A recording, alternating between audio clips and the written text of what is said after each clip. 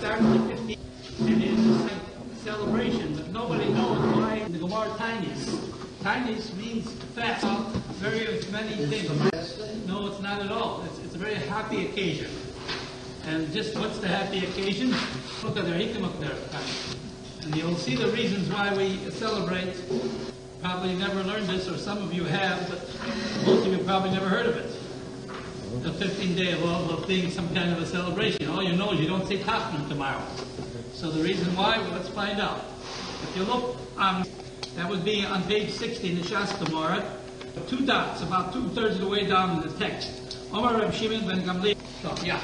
There, you have it, gentlemen? Uh, we're not going to keep secrets. Keep secrets right there. Omar. Right here? You have it, everybody? Is. Gamliel says, yomim tovim Israel. There were no more happy Chamisha of, like the 15th day of Av, and Yom Kippur. So now the Gemara is going to try to analyze it. Why is this? It is right, Yom Kippur should be a happy day. Why? It's a day that God will forgive us for our sins, so it's a wonderful, happy day, wonderful. And also, Yom Shanisnu Bo Luchas It's the day when the second tablets were brought down from heaven by Moshe Rabbeinu. So it's like a, another a celebration of receiving the Torah from God. So this is a happy day. of Mahi. But why is the 15th day of that's tonight, tomorrow? Why is this such a happy occasion? So we have a series of reasons. His name is Shmuel. Yom Zebazet. The generation that left out of Egypt, the tribes were not permitted to intermarry one with the other because they were fearful that one would lose the inheritance that was uh, due to that tribe. But thanks God, after the first generation, they permitted the Jews to intermarry. The tribe from Levi could intermarry life from Yehuda and so forth. My Dorish, what did they, what did they learn out? Tzlofchad.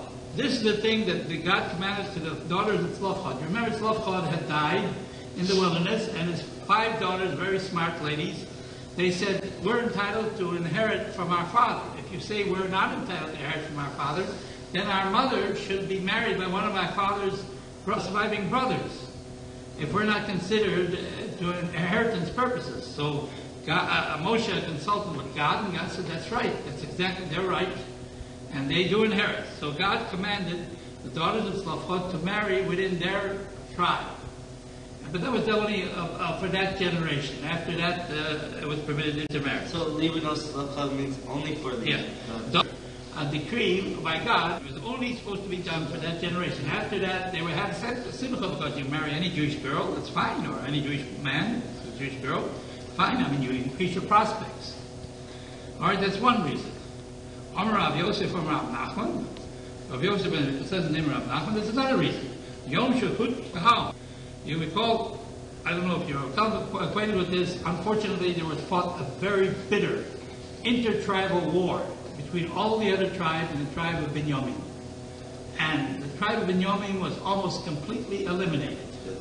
You mean all? All the other tribes, 11, 11 tribes, fought against each other. Wow. There was a, a, particularly hideous situation arose uh, that there was a man with his wife that he was passing through the tribe of Binyamin and some worthless types gang raped his wife and killed him, killed her. And when the other tribes heard about this, they were shocked. And they asked that they, the people that were uh, guilty of such a horrible crime should be brought to, brought to justice. And, but they refused. They refused to go and bring these people to justice. So then they had to fight an intertribal war, yes. And then, and during the height of the war, they made vows that nobody, anybody that marries off his daughter to a Benjamin is ostracized. You cannot do it. So then after the war was over, all that was left of the whole tribe of Benjamin was 600 men. They hid themselves in a valley. Mm. And everybody knew where they were. That was the only, all left in the tribe. And the prophets had predicted that there, this tribe would be one of the tribes. God had promised most Yaakov he would have an extra tribe. And this is the tribe. And they said, what did we do? So they didn't know what to do, so they figured, I'll tell you what, was there anybody that came here to the, uh, didn't come to the war? He didn't make the vow.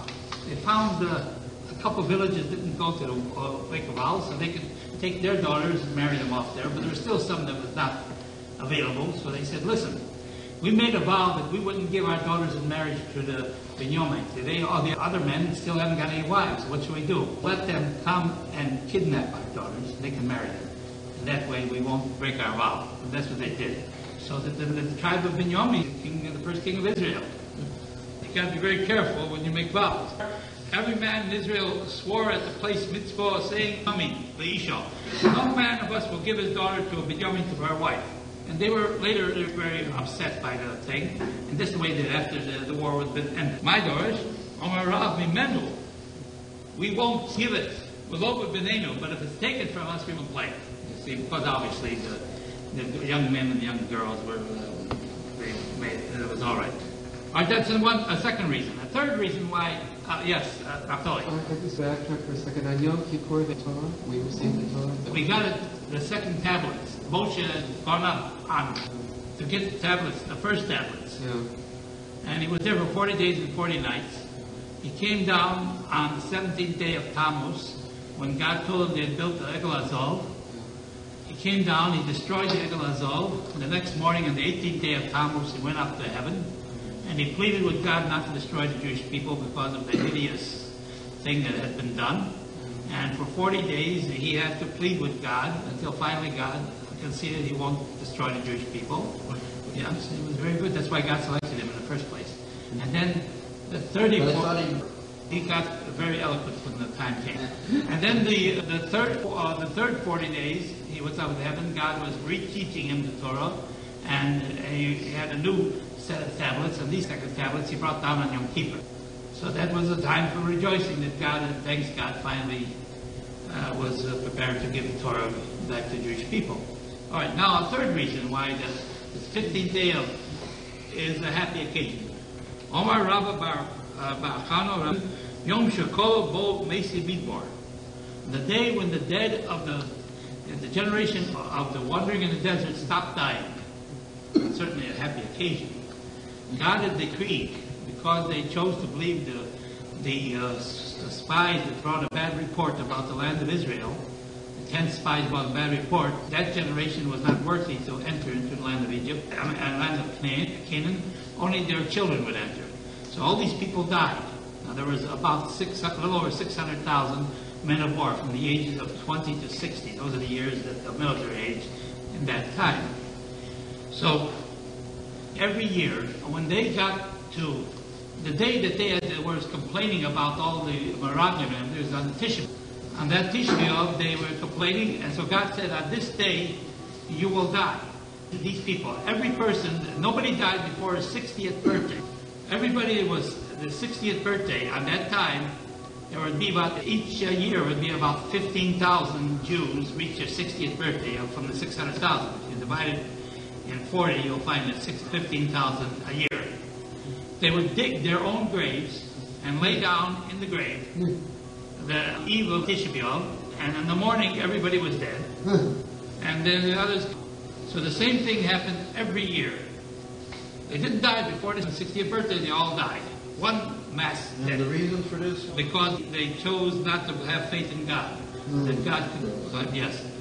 This continued for 40 years. On the 40th year, again, the, the men reaching the age of 60 all dug their, dug their graves. Hmm. The next morning, nobody dies. They all got up. He says, maybe, we- maybe we fixed that. Published calendars. Maybe we made a miscalculation. Maybe then tonight, tonight is the, is the night that we're supposed to die. So the next night they lay down in their grave, and the next morning they got up again. Nobody died. And this continued for about a week until it finally dawned upon them that thanks God it stopped. There was no longer any more people. Yeah. They would constantly going lay in their in their ditches, and in the morning they were still alive.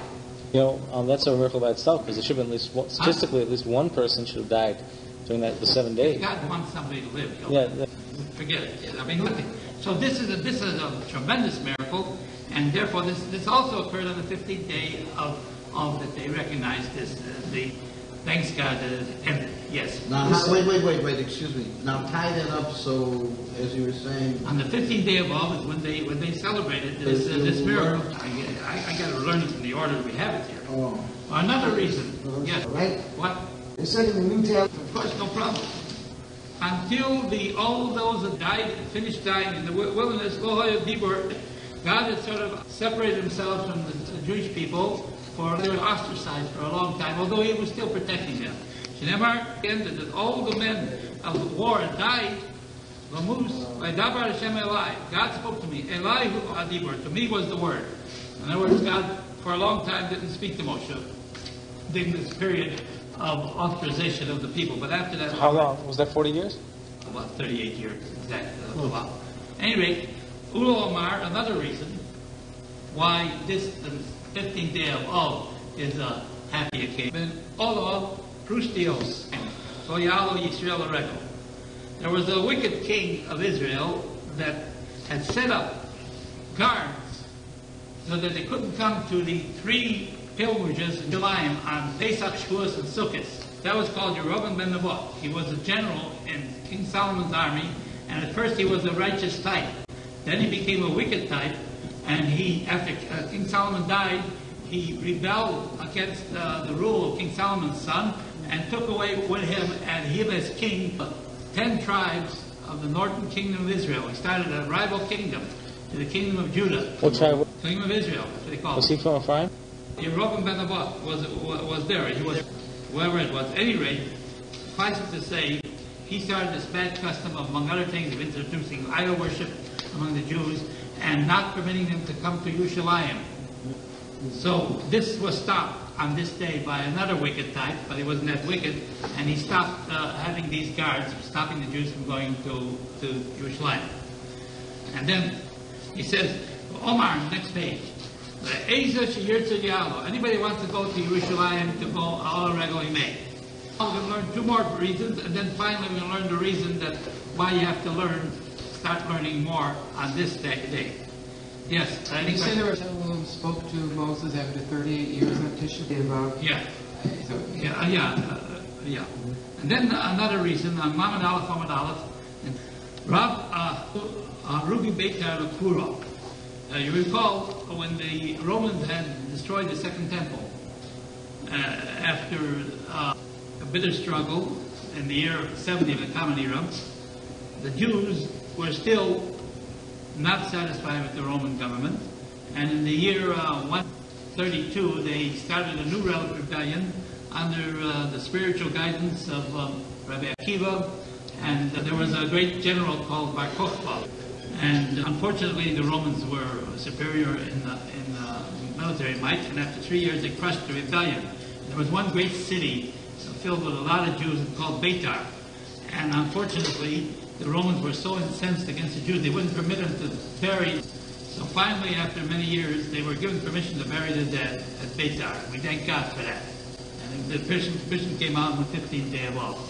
So, Arubi Beitar, Hurrah, that day they gave the permission to bury the dead, which is by Jewish law. Great They have a tremendous city. In the yeshiva city of uh, Tova Metiv, when, when we, when we, uh, eat every meal, we pray God to God and thank Him for the meal. And one of the four prayers, the main prayers that we say in the Birchas Hamot, and the grace after the meal, that we, we God is good, and He does good. What does He do? Uh, He made a miracle happen that the dead bodies did not smell, because after many years, it'd be horrible, couldn't even approach it. And say, "Va'ametiv," and the family does it to bury them How many dead were there? literally uh, hundreds of thousands.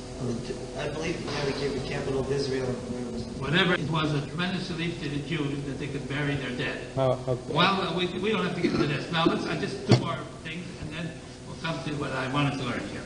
Another reason why this 15th of is uh, happy occasion for the Jews, the day they stopped cutting wood for the temple offering, uh, temple, they used to burn the sacrifices on the temple, in the temple, so you had to have wood to supply the fire. Now, the wood that, that they had to use had to be free from any worms. Wood that's very well dried by the sun doesn't have worms in it. But wood that is not dried, and when does the, the sun's strength decrease, start decreasing? By the 15th day of Oh, at that point, you can no longer use the wood for that purpose. You gotta have uh, wood free from uh, worms. And Tanya Rebbe uh, Eliezer ben Horkenes, the Talmud of guy. He's called the Godel, because he was just tremendous. From the 15th day of Av, the Elok, and further on, Toshos Kocho Shel Chamo, they're weak in the strength of the sun in relation to being drying property. Lo, hoyo, Of course, in 18 Marocha, they wouldn't cut any more wood for the thing. In other words, they have to go and prepare the wood prior to that date. The fish because it wouldn't dry, it wouldn't dry up enough to utilize for that purpose. Because there shouldn't be any worms when you offer it on the sacrifice when you Before burning the chavas. you didn't have to do any more work. Cutting, uh, That's tried? I know, so they prepared it ahead of time, a little more ahead of time, so they had enough for the whole thing. Like for instance, when you're out in the woods and you have a cabin and you, you have only by a fire, uh, you cut the, uh, enough lumber as necessary for to last you over the winter. You understand? If you have that fire, yes. Is the mirror, is the mirror of the fifteenth above the occasion that, They don't have to do this hard work of cutting. Did you ever try to cut the lumber? Yes. Yeah, nobody has it, but it's very hard. They didn't have They have good saws and everything. Even then, the chainsaw didn't have that thing. It was hard work. Or Menashe, the Korle Yom, uh, Tover they used to, the day that used to break the axes. They didn't have any need for them until next year, so they broke the axes. They don't have to use them anymore. Put them aside, whatever you want to call it. But this letter literally means, we can, all right, now, now we come to the crucial thing, why we're learning tonight, starting tonight. We can't relook from this point on, from the 15th day and on. The Mosif, if a person adds to his Torah, Torah learning, Yosef, he adds to his life. If he doesn't add to his Torah learning, also he'll be gathered in Now, how long does this have to continue? until the days start getting big again. You have to do. You have to, in other words, you have to increase the Torah learning when the nights are getting bigger. Right. And you have to increase the Torah learning in the daytime when the, the days are getting bigger. Truth is, be did, you're supposed to learn Torah but you have to increase it when there's more opportunity to do so. So I always say, what does it mean, the gathered? Right, amen. When we're talking he'll be buried. Now look at Rashi. Uh, look at Rashi there about Eloch. You have Mikan Eloch, that's about an inch and a half from the top. Mikan Eloch, from this point on. You have it? Gentlemen of Eloch, from this point on. From the 15th day of Av, a little further down, a little further down. Mikan Mechamisha Aser Av, from the 15th day of Av. The Eloch, and further on. The most What's the le- what's the word in the left paragraph, on the left side of the paragraph? Just above the Mosif and just below. uh, It's corresponding to an inch below the text. That doesn't help. Where, what's the, on the left side? Don't. You have it? Naftali? You got it? No, It's about an inch and a half down from the top of the, uh, of the almond. Hold, that's in the, that's in the, Rashi. That's what I'm going to read to you. You got respect? Big enough for you? Quote somebody that's not important. Mikan Milo, from this point on, Mechamisha Osabal, Rashi says, from the fifth of all, Elo, and further on, the Mosif Lelos Yomim, that the nights are increasing over the days, that you have opportunity to learn Torah. God adds life to your life, to his life, if he learns more Torah at night. Gentlemen, in due deference to, to your uh, continued existence, and halavai we all live for a long time, halavai forever. So this is why we're starting learning now after Ma'ariv instead of before Mincha, like we were learning up to this point. See, I just want you to know I have a halachic reason why I'm changing at this point. I have, I, I want to live, you know. And lo Yossi, if a person doesn't increase Torah at night, lo ito, he'll die before his time. I don't want that to happen, gentlemen. Therefore, I learned it. Now, all the reasons the Gemara tells you uh, why it is. You like it? Oh, Baruch Hashem, then we'll tell you. Now, perhaps we'll learn a few minutes Hilchas Tshuva, gentlemen. We have uh, to chapter, uh, chapter uh, seven, Perish uh, Shvi, and Rambam's Hilchas Tshuva. Al, Al, bring this over there. why you, what was the point of The wood was used to burn the carbon. You could not have the wood used for burning. No. The worms would not be in wood that was completely dried. It The sun dried it very well so that there were no more worms would be in it. If it was, after that point, the strength of the sun beating on the wood would not be as sufficient to uh, eliminate all the worms in the wood. After the 15th of Av was the occasion that even though the sun had weakened, it was still strong enough to dry the wood so there wouldn't No, worm? it was not strong enough. That's why you had to go and stop cutting the wood for that, that, that year, for that purpose. You could only do it up to the, the 15th of Av. But after that, you no longer could do it for that purpose. I'm sorry, I still don't see what's the simcha. It's not work. You don't have to work. Would there be enough wood cut before? Yes. Oh, so the occasion was it that you were through chopping the wood? Yes. 15th or not? If you don't believe it, you No, try it the question whether, isn't whether it's hard or not, I didn't understand what the significance Yeah. of the 15th of August. That's when the, they determined, that point on, the sun didn't have enough heat. Oh, so they had enough, We, yes. you know? Oh, it comes to your mind. I'm sorry, excuse me. No problem, Naftali.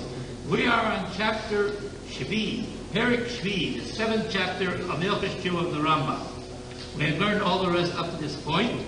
We are now in, um, we're beginning the fourth paragraph. See, uh, recapitulate, to review what we have learned uh, so far in, in the first chapter. The first uh, Sif tells that since everybody has has freedom of choice, uh, a person should strive to do tshuva and to confess to God from his sins and uh, before he dies, because if he does tshuva before he dies, he will merit to live in the world to come, in heaven. So it, it's prudent for a person to want to live in heaven. So you have to do what you have to do, and the thing is to do tshuva and good deeds. And a person should always look at himself as though he's dying. And uh, so therefore he might die, the second paragraph says, right away. So, and he might be still sinful at that point. So better repent immediately from sin. And that way, if God forbid he dies, he's still going to go to heaven. And he doesn't say, a person shouldn't think, when I get old, tshuva, perhaps he won't have time to do tshuva. Perhaps he won't. Uh, Shlomo Melech said in his wisdom that a person should, at all times, his garment should be white. He should be sinless. Now, how is it possible for a person to be sinless in our time and age? Especially we got a Yetzer Hara, God forbid, uh, we are Weitevek, and we are in and there are many other reasons why and we're living in a, in a materialistic society. Every one of the Shmona we have, we go and say, uh, we ask God to forgive us for our sins. Mincha, Shachris, Mincha, Ma'ariv, each time. So we're constantly doing tshuva if we're if we go to shul. If you daven every day, uh, Baruch Hashem, you're constantly doing tshuva. That's what it's supposed to be. A Jew is supposed to always be doing tshuva. Yeah, Because you might make mistakes. We do, unfortunately, make more than we should. However, we don't make any. But all right. And a person said, say that you shouldn't think. Remember, the third point is you shouldn't think that tshuva only involves that involve amazing actions like stealing or you know, immoral sexual activity. Now, just like a person has to repent from these things, he has to repent when he, he or he runs after money all the time, or honor, or he's running uh, to uh, self-indulgence. All these things, a person has to repent from doing these things, do tshuva in these areas as well. And as a matter of fact, it's more hard to break yourself of bad habits than actually repenting from bad things that you did. So now we're up to Sif. I've just reviewed it temporarily so you understand. While you don't Adam Baal Tshuva, a person that is a Baal Tshuva should not think, Mamalas Tzadikim, that he's far away from the high spiritual uh, standards of righteous people. Don't make that miscomprehension and thinking that you're far away. One would be far Present company accepted all great tzaddik. Uh, if Choliv Chas it should ever be, that's very hard for me to conceive, but if it ever be that, that there are Jews that are Vaitamek, a person should think uh, it's about tshuva that he's far away from the high standards also because of, this, of the transgressions and sins that he has done. The Rambam says, Ein Adover came, the thing is not that at all. Don't make that miscomprehension. El Oh, he is love, Nechma, and he, he is precious glory before God. God loves us all. We may Cholila be Vaitavek, far away from Yiddishkeit. We may Cholila be, as only Treffin, a Jew may be filled with sins. Still, he's not far away from God. He's very close to God. Hilo lo. He is as close to God as though he never sinned at all see the magnanimity and the beauty and the greatness uh, of God, that He doesn't cut a person off because he made mistakes. And unfortunately, many people make a lot of mistakes. Lo, not only that. If a person can be about tshuva after he has sinned, his reward is tremendous. Shari, Tom Tam, he has tasted the taste of sin, Menu, and he has somehow found the strength to go away from it. Such a person deserves tremendous credit, and God, in fact, gives him to such. And he has conquered his passion, his evil passion. The passion has led him astray. How wonderful such a person is in the eyes of God. And not at all uh, hated by God, but loved by God. And he is going to get a tremendous reward because he, he what came about you. Our sages say in the Gemara, Welcome Shabali, the place where a true, even the most complete righteous ones are not able to stand there. In other words, the Bali Tshuva stands on a higher spiritual plane than even a, a, a tzaddik can never sin in this. Can you imagine such a concept? Believable, but it is true. This is the Chazal. This is how beautiful the Rabbinic Torah. Kolomer, Ma'alot, their spiritual elevation, the Dola, is even greater than Malos Elo, than the elevation of those Asher Ashalo Chotum Elam, that they've never sinned at all. How can a person do better than never sin at all? And yet, the amount of work that they had to do to go return back after they sin, God doesn't like. He gives them credit for that. From Yosemite, because in truth, a Bali conquers his, his Yetzer Hara even more than the greatest tzaddik. It's fraught. We learned before that if a person dies before he does, he's messed on his way to heaven. I, I wouldn't advocate this. This is sort of like placing, playing Russian roulette with your neshama. I wouldn't advocate it to anybody that's insane. That's a hard way to do it. Anyway, have my Mormon say that if a person intentionally sins on the expectation God will forgive him, he will not be forgiven. We're not talking about the person trying to do it. Well, they'll forgive me. No. What we're talking about is a person, unfortunately, has succumbed to temptation, as unfortunately all of us from time to time may have uh, done. And having succumbed to temptation, it becomes increasingly more difficult for him to do the proper thing. And if he so somehow, with the help of God, of course, the, the strength to be a true Baal Tshuva in the true sense of the word, he deserves credit for it. And in fact, Is this, yes, uh, Naphtali, does this only happen for someone who's overcome by passion or by I would suggest that there's nothing to stand before about Tshuva. Whatever person that may have done uh, in his uh, sinning time, God is prepared to forgive him.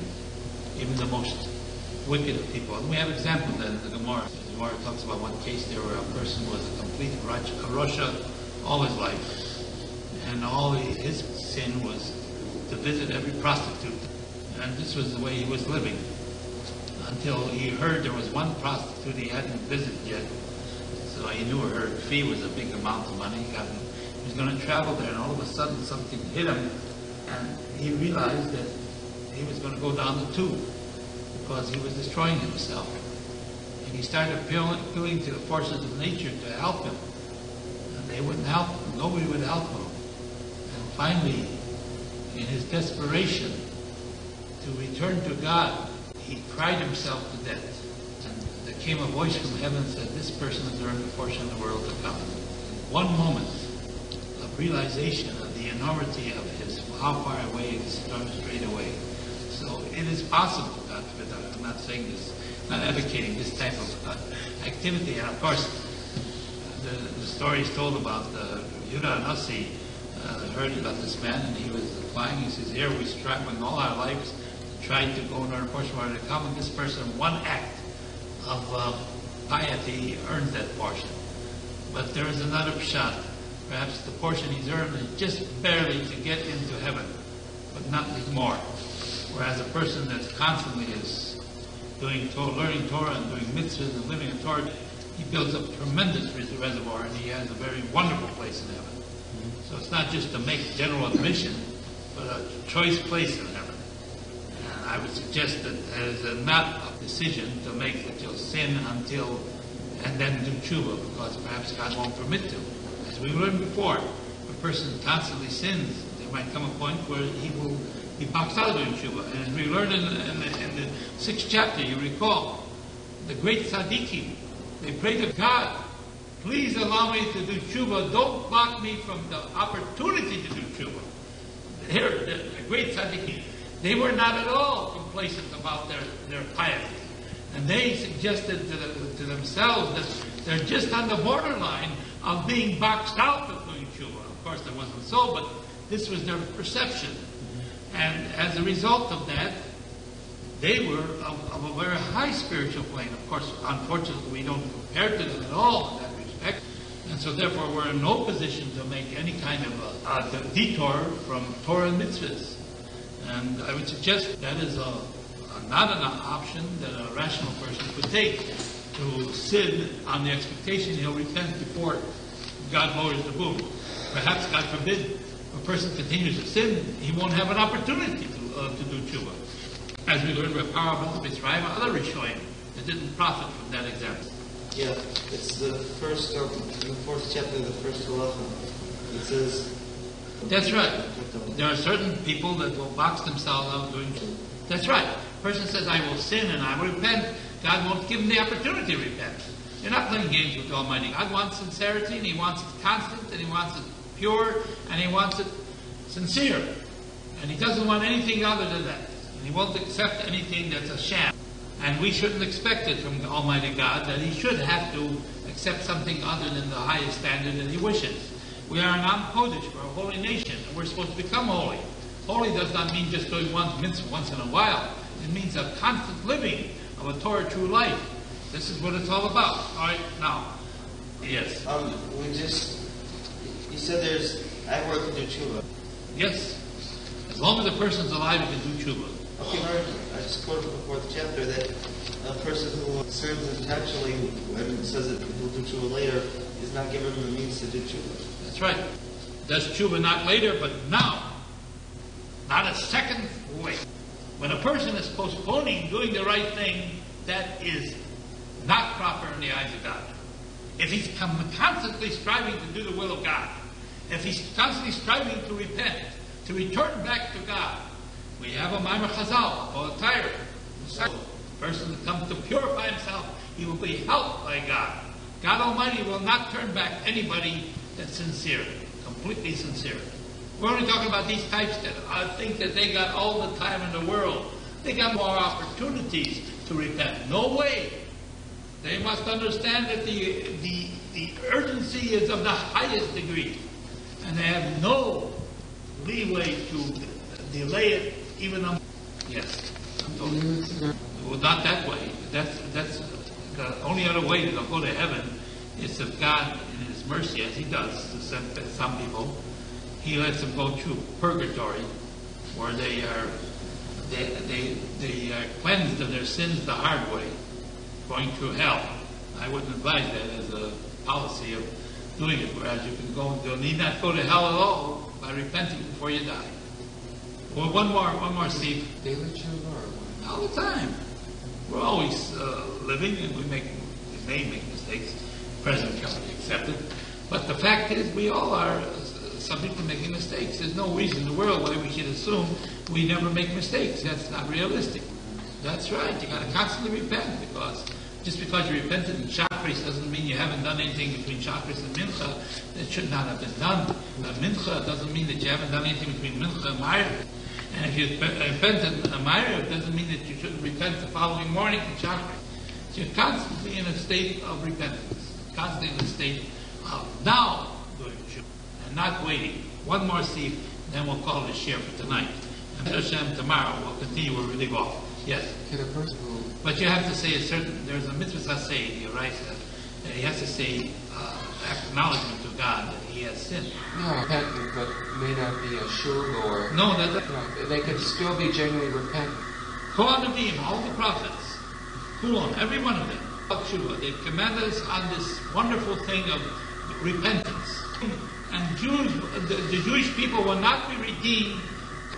So since it's such a chashiv thing, such a wonderful thing, it's something we all should embrace and continue to embrace because it's what's going to redeem us. For Torah, And the Torah has also promised us, Shesof, in the end, that Israel in fact will do tshuva. Oh, the Sof lost at the end of their exile. And what will happen when they do tshuva? All Jews is, so who's holding it back? Not. All you have to do is do.